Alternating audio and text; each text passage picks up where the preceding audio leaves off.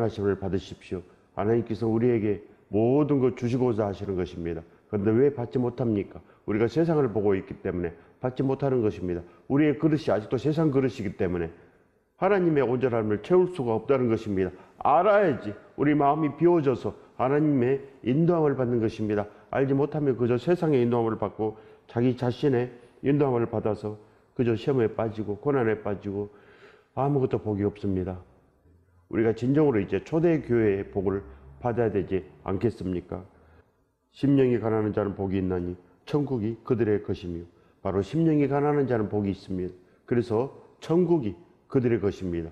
하나님의 모든 이 축복이 바로 그들의 것입니다. 누굽니까? 바로 심령이 가난한 자. 오직 하나님 아버지만 부르고 예수 그리스도 안에 그 십자가 안에 점사랑이 있고 오직 그들도 사도 바울처럼 걸어가려고 하고 브루스가 아굴라처럼 나도 살아보리라 결단하고 그래야 세상에 꿈이 없으니 그들은 바로 심령이 가난한 것입니다. 심령이 가난하다는 것은 하나님의 말씀을 알고 천국도 가고 아버지 집에서 모든 갈 수 있는 자들을 말하는 것입니다.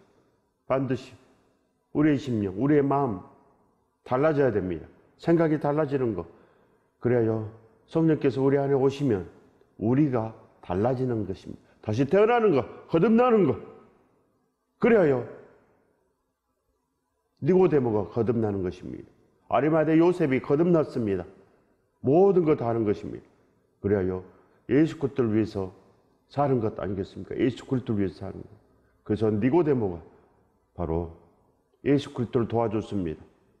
예수 그리스도를 도와주고 또 아레마대 요셉과 함께 니고데모가 예수 그리스도를 온전히 장사 지내며 하나님의 온전한 나라를 위해서 애쓴 것입니다. 그래야 전승에 의하면 니고데모가 순교했다고 합니다. 예수 그리스도 은혜 안에 우리도 온전한 것을 보아야 됩니다. 거듭났다는 것은 진정으로 하는 것입니다. 진정으로 알아서 하나님의 온전함을 하는 거 아니겠습니까? 반드시 심령이 가난해야 됩니다. 신명기 7장 9절에 그런즉 너는 알라 오직 내 하나님 여호와는 하나님이시요 신실하시는 하나님이시라 바로 알아야 된다는 것입니다. 신실하시는 하나님을 반드시 알아야 됩니다. 하나님께서는 신실하시다. 하나님께서는 거룩하시다. 하나님께서는 온전하시다. 무슨 말씀입니까? 우리들처럼 세상에 있지 않고 하나님의 마음은 오직 온유하며 심령이 가난하며 이 여덟 가지 복이 다 있는 것입니다. 하나님 마음속에 즉 예수 그리스도의 온전한 마음속에 진정으로 진정으로 이 심령이 가난한 온전함이 있는 것입니다.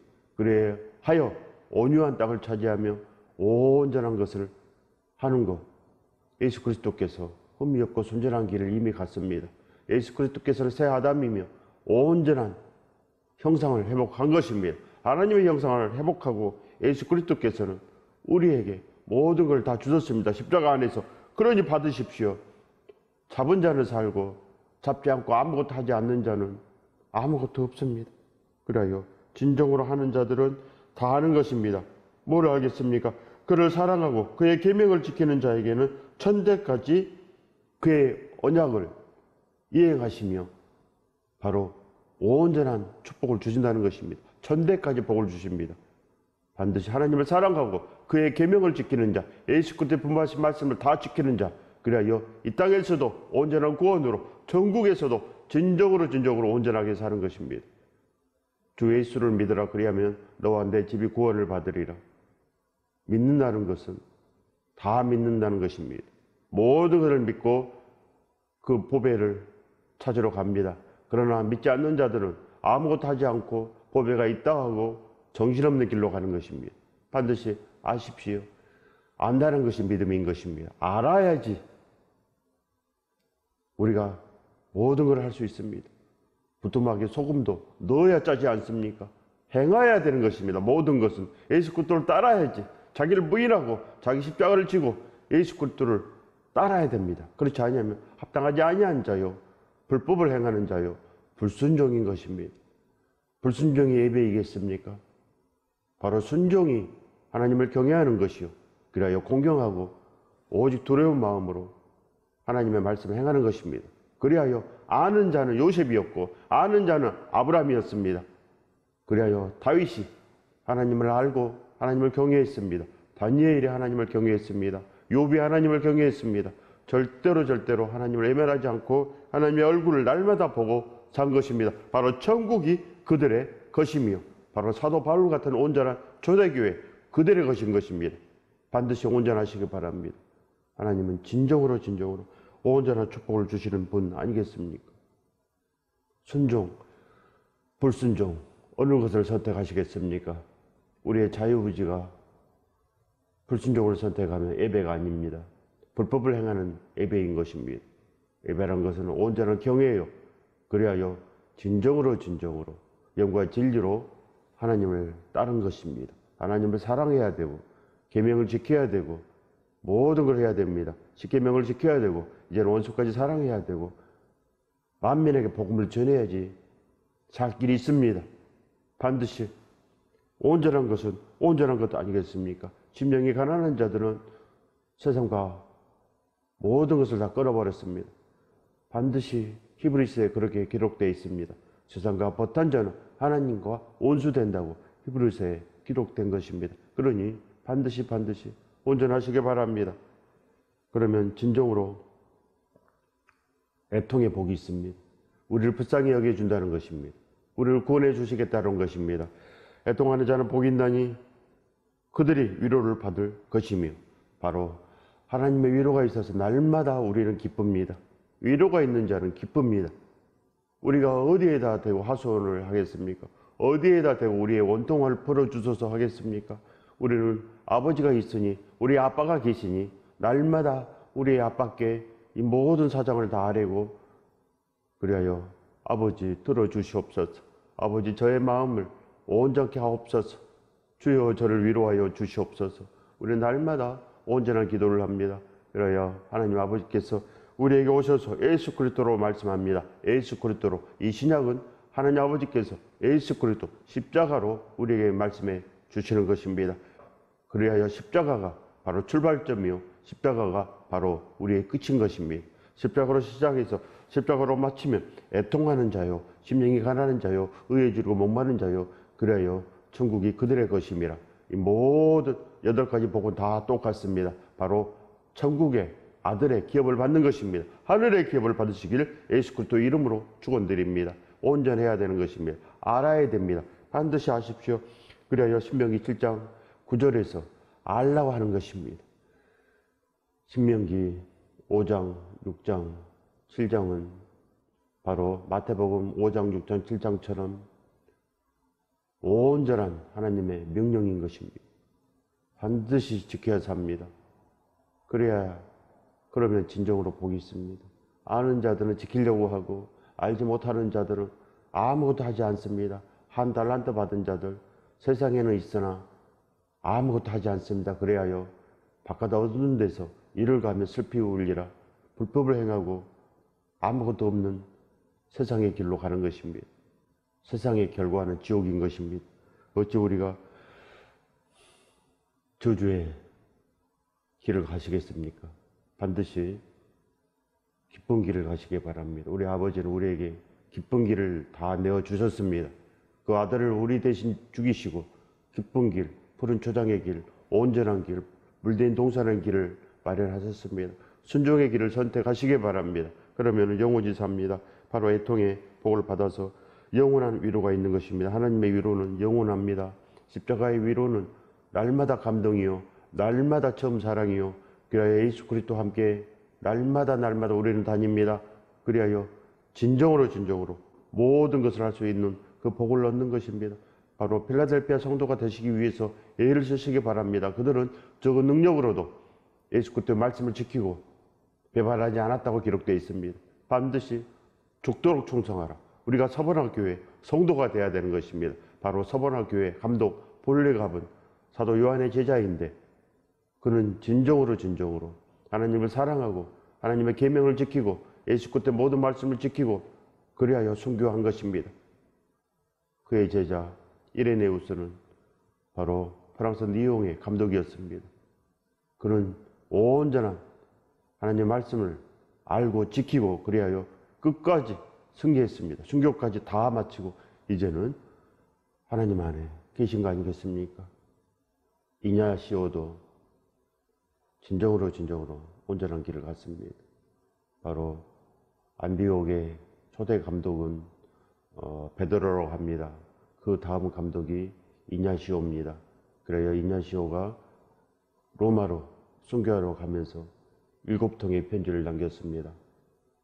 반드시 온전한 길을 선택한 것입니다. 알기 때문에 심령이 가난하기 때문에 이냐시오는 그렇게 하나님의 말씀을 지키는 길, 차라리 순교의 길을 선택하고 절대 세상과 버타지 않고 온전한 길을 선택한 것입니다. 반드시 우리도 온전한 길을 선택해야 됩니다. 하나님의 온전한 길. 그래야 요셉이 하나님을 배반하지 않는 길을 선택했습니다. 그래야 절대로 죄를 짓지 아니하며 죽어도 하나님 안에 살겠다. 그래야 요셉이 온전한 길을 선택하기 때문에 하나님께서 함께 하신 것입니다. 큰 복을 주신 것입니다. 다윗도 진정으로 진정으로 하나님을 욕되게 하는 그 골리앗을 가만히 둘 수 없었던 것입니다. 어찌 하나님을 욕되게 하는 그를 가만히 두겠습니까? 하나님을 사랑하는 자들을 절대로 절대로 하나님의 나라를 세우는 것입니다. 다니엘이 세웠습니다. 욥이 세웠습니다. 반드시 우리도 온유한 길을 선택하시기 바랍니다. 온유한 자는 복이 있나니 그들이 땅을 기업으로 받을 것이며 온유한 자들은 반드시 땅을 기업으로 받습니다. 여러분들도 그 온유의 땅을 받으시기 바랍니다. 온유를 내가 잡는 것입니다. 그냥 있으면 되겠습니까? 교회에 있다고 되겠습니까? 아닌 것입니다. 하나님께서는 내가 기도하지 아니하면 아무것도 이루어줄 수가 없습니다. 기도하시기 바랍니다. 기도하면 하나님께서 다 이루십니다. 다 이루시고 진정으로 진정으로 잘했다고 합니다. 부지런하고 착한 종아 잘하였도다. 나의 잔치에 참여하라. 아버지 집으로 가시기 바랍니다. 세상에 있으면서 아무것도 하지 않으면 하나님께 온전한 기도를 드리지 못하면 당자인 것입니다. 당자가 무슨 복이 있겠습니까? 반드시 허랑 방탕한 이 세상에 사망의 일을 접어버리고 이제는 우리가 아버지 집으로 가는 것입니다. 아버지 집으로 간다는 것은 하나님을 경외하는 것이요. 아버지 집으로 간다는 것은 진정으로 우리가 요셉처럼 살아야 되고 다니엘처럼 살아야 되고 우리가 사도 바울처럼 살아내야 되는 것입니다. 오직 예수 그리스도 안에 거하는 것 이것이 믿음인 것입니다. 부스가 아굴라처럼 사는 것입니다. 그들은 목사 일을 했습니다. 그래야 고린도 교회에서도 온전한 교회를 했으며 에베소에서도 그들의 가정이 교회였으며 로마에 가서도 그의 가정이 교회에 있습니다. 그래야 로마 교회를 완전하게 하고 모든 것을 다 하며 하나님 안에 큰 축복을 쌓은 거 아니겠습니까? 여러분들도 오직 하나님 안에 큰 축복을 준비하시기 바랍니다. 상을 준비해야 됩니다. 온수까지 사랑해야 됩니다. 우리도 달려갈 길 나아가야 됩니다. 사도 바울만 달려갈 길이 있습니까? 우리도 선한 싸움을 하고 바로 믿음을 지키고 달려갈 길을 다 마쳐야 됩니다. 그래야지 우리에게 온전한 길이 있는 것입니다. 그래야지 구원이 있는 것입니다. 반드시 죽도록 충성을 해야지 우리의 온 마음을 다해서 진실로 하나님을 경외해야 됩니다. 그러면 온전한 것입니다. 바로 죽도록 충성한다는 것은 요셉이 하나님을 배반하지 않는 길을 선택하는 것이요. 다윗이 골리앗과 싸우는 길을 선택하는 것이요. 다니엘이 온전한 기도로 나가는 것입니다. 사자굴에 들어갈지라도 진정으로 하나님께서 원하는 그 일을 하리라. 이것이 하나님의 온전하신 뜻을 안다는 것이요. 그래 하나님을 사랑한다는 것이요. 그래요. 하나님의 계명을 지키는 것입니다. 계명을 지키려면 하나님을 사랑해야 됩니다. 그렇지 않고는 바리새인처럼 지키지 못합니다. 그래야 하여 지키지 못하니까 사람들에게 그저 보여주기 위한 믿음, 형식적인 믿음, 행위 믿음으로 죽는 것입니다. 행위 믿음은 독사의 자식들이 하는 것입니다. 어찌 우리가 독사의 자식이겠습니까? 예수 그리스도께서 나를 위해서 죽으시고 나를 위해서 다 하셨는데 나를 위해서 온몸이 찢겨지시고 나를 위해서 손에 발에 구멍이 뚫렸는데 어찌 내가 형식적으로 하겠습니까? 형식적인 믿음은 초대교회처럼 날마다 새벽을 깨우지 못합니다. 날마다 날마다 새벽을 깨우지 못합니다. 이것이 초대교회의 온전함인 것입니다. 그리하여 초대교회는 성령께서 오셨기 때문에 이것도 행하고 저것도 행하고 다 하리라. 다 하려고 합니다. 그러나 형식적인 믿음은 하지 않으려고 합니다. 요만큼만. 그저 11조만. 그저 일주일에 한 번 예배하는 것. 예배라는 것은 온전한 마음으로 절하는 것입니다. 진정으로 진정으로 예를 갖추어서 하나님 앞에 예를 갖추어서 하나님을 경외를 하는 것 이것이 바로 예배인 것입니다. 그저 형식적으로 절하는 것이 예배이겠습니까? 그거는 저주인 것입니다. 반드시 온전하시기 바랍니다. 여러분들도 마음이 없는 절을 받고 싶습니까? 반드시 반드시 온전하시기 바랍니다. 온유의 마음으로 나아가면 진정으로 진정으로 거룩한 땅의 축복을 받습니다. 온유한 땅은 천국의 거룩한 땅인 것입니다. 반드시 진정으로 진정으로 이 세상에 사람들이 불쌍히 보여야 됩니다. 그는 이미 긍휼한 복을 받았기 때문에 이 세상 사람들이 불쌍히 보이는 것입니다. 지옥으로 달려가고 있기 때문에 이 세상 사람들이 불쌍히 보이고 그들을 구원하기 위해서 우리가 전심전력으로 나아갈 수 있습니다. 의에 줄이고 목마른 자는 복이 있나니 그들이 배부를 것이며 바로 의에 줄이고 목마른 자 의는 예수 그리스도입니다. 그래요. 우리는 예수 그리스도를 위해서 날마다 달려갑니다. 날마다 온전함을 전하기 위해서 날마다 달려가는 자요. 그래요. 우리는 모든 복을 받기 때문에 우리는 배가 부릅니다. 전국의 배가 부르고 하나님의 이 말씀에 배가 부르고 모든 것을 아는 것입니다. 크고 은밀한 비밀을 다 아는 복. 그럼 얼마나 좋겠습니까? 우리가 모든 것을 다 알고 그리하여 진정으로 진정으로 이제는 예수 그리스도 안에 가는 것입니다. 반드시 탐심을 먹으면 죽습니다. 교만을 먹으면 반드시 죽습니다. 바로 교회라는 것은 악한 것을 아는 것입니다. 그래서 선함을 따라가는 것이 경이 아니겠습니까? 잠언서 8장 13절에 여호와를 경외하는 것은 악을 미워하는 것이라 나는 교만과 거만과 악한 행실과 폐역한 입을 미워하느니라. 바로 하나님을 경외한다는 것은 악을 미워하는 것입니다. 그래야 교만을 미워하고 거만을 미워하는 것입니다. 하나님 앞에 거만하시겠습니까? 교만하시겠습니까? 하나님의 말씀을 모르고 자기 생각대로 성경을 해석하는 자가 거만이요, 교만이요, 폐역한 것입니다. 하나님께서는 바로 폐역한 것을 묘하는 것입니다. 폐역한 것이 바로 이 세상인 것입니다. 자기 뜻대로 사는 자, 자기 자신을 위해서 사는 자, 그는 바로 폐역한 세대인 것입니다. 십자가는 오직 예수 그리스도를 위해서 예수 그리스도의 방법으로 사는 것을 배우는 것, 그것이 바로 십자가인 것입니다. 십자가는 감동이요. 날 위해서 죽으신 신랑을 만나는 것, 신랑의 손을 잡는 것, 한번 잡으면 성령께서 우리 안에 오십니다. 우리도 오순절 성령 강림절 120명처럼 성령께서 우리 안에 오시면 한 번 오시면 진정으로 넘어지지 않습니다. 자기 일로 자기 집으로 가지 않습니다. 오직 모든 걸 하고 달렸길을 다 가고 진정으로 진정으로 믿음의 완주를 하는 것입니다. 믿음의 완주, 온전한 길, 심령이 가난한 길, 의에 주로 목마른 길, 바로 온유의 땅을 차지하는 그 길. 반드시 그 길을 선택하시기 바랍니다. 그러려면 성령께서 오셔야 됩니다. 날마다 온전한 기도, 그의 나라와 그의 의를 구하는 온전한 기도를 드리시기를 예수 그리스도 이름으로 축원드립니다. 그래야 이 팔복을 받습니다. 너희가 내 안에 내 말이 너희 안에 거하면 무엇이든지 원한 대로 구하라. 그리하면 이루리라. 이 복을 받으십시오.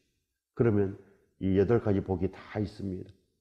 바로 하나님께서 하나님을 사랑하고 그 계명을 지키는 자에게 천대까지 복을 준다고 약속하셨습니다. 이 복을 반드시 받으시길 예수 그리스도 이름으로 축원드립니다. 받으면 이 땅에서도 온전한 구원이요 천국까지 구원을 받습니다. 그래야 우리도 진정으로 이것도 안 하고 저것도 안 하는 자가 아니요. 이것도 행하고 저것도 행하고 나도 사도 바울처럼 나도 진정으로 행하리라. 나도 브루스가 아굴라처럼 행하리라. 나도 베베 자베처럼 로마서를 가지고 나도 로마 교회로 달려가리라. 하는 자인 것입니다. 뒤로 빼는 자가 아니요. 하나님의 아들들은 적극적으로 일심으로 하는 자인 것입니다. 일심으로 예수 그리스도를 위해서 하는 것입니다. 일심이 아니면 요셉처럼 진정으로 하나님의 말씀을 지키는 길로 나가지 못합니다. 그래야 배반하는 것입니다.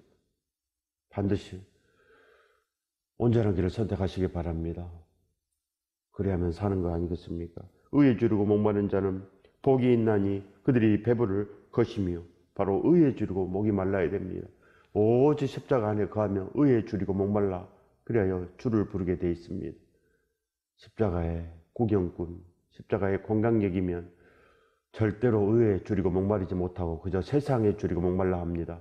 세상에 내가 갖지 못한 거에 목말라 하고 세상에 갖지 못한 그 권력에 목말라 하고 세상에서 갖지 못한 그 좋은 직업 그거에 목말라 하고 그래서 죽는 것입니다.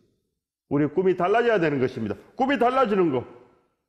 천국의 꿈으로 목말라 해야 되는데 그저 세상의 꿈으로 목말라 합니다. 나도 남들처럼 좀 잘 살아봤으면 나도 하나님 믿어서 좀 잘 살아봤으면 절대 아닌 것입니다. 너는 알라 진정으로 예수 그리스도의 마음 진정으로 우리도 하늘의 마음을 알아야 되는 것입니다. 하늘의 마음.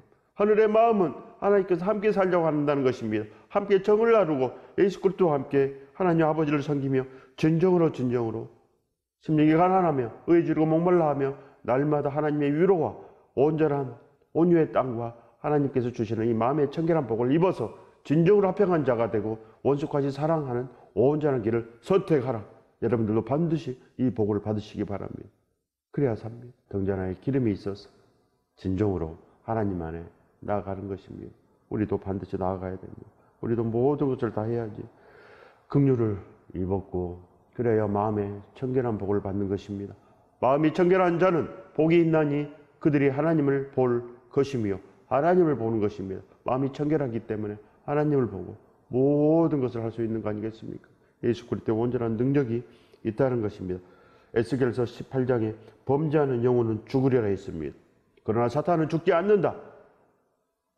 선악을 알게 하는 그 과실을 따먹어도 죽지 않는다.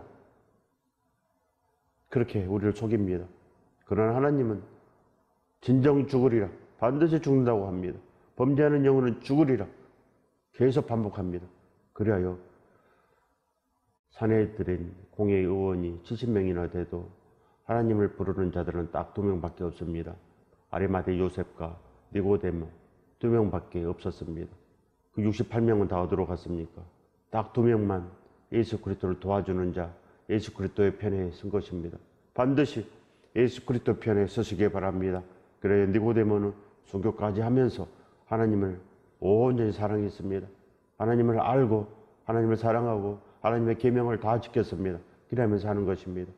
하나님이 왜 다른 것을 사랑하며 제1 계명을 범했습니다. 그러면 다 지키지 못한 것이 되는 것입니다. 세상을 이처럼 사랑했는데 어째 하나님을 성격했습니까? 세상을 사랑하고 자기 자신을 위해서 사는 것입니다. 예수 그리스도를 위해서 사는 것입니다. 믿음은 바로 예수 그리스도를 위해서 사는 것. 그가 모든 사람을 대신하여 죽으시면 살아있는 자들이 다시는 그들 자신을 위해서 살지 않고 그들을 대신하여 죽었다가 다시 살아나신 이를 위해서 살게 하려 함이라. 고린도후서 5장 15절의 말씀입니다. 믿음은 예수 그리스도를 위해서 사는 것입니다. 십자가는 바로 예수 그리스도와 함께 예수 그리스도께서 나를 위해서 우리를 위해서 모든 걸 했으므로 우리도 이제는 예수 그리스도를 위해서 할 차례 예수 그리스도를 위해서 걸어갈 차례 예수 그리스도를 위해서 우리도 진정으로 심령이 가난하고 의에 주르고 목말라 하며 거룩한 땅으로 온유의 땅으로 화평한 자로 오직 우리도 천국의 이루를 받았으므로 천국의 이루를 전파하는 자, 그 전파하는 자로 영원히 사는 것입니다. 이 복을 받아야 사는 거고 이 복을 받아야지 바로 의를 위해서 박해를 받고 이제 천국이 우리들의 것입니다. 그러니 모든 것을 다 할 수 있는 자가 되는 거 아니겠습니까? 나로 말미암아 너희를 욕하고 박해하고 거짓으로 너희를 거슬려 모든 악한 말을 할 때는 너에게 복이 있나니 기뻐하고 즐거워하라 하늘에서 너희 상이 큼이라 너희 전에 있던 선지자들로 이같이 받게 하였느니라 진정으로 진정으로 우리도 다 지키는 것입니다. 그 절대로 절대로 이웃에게 화를 내지 않고 이웃을 비방하지 않고 이웃에 대하여 수군거리지도 않고 이웃에 대하여 바보로 하지도 않고 어리석은 자라 생각하지도 않고 모든 자들과 함께 온전한 것을 이루며 모든 자들과 함께 예수 그리스도와 함께 나아가는 것.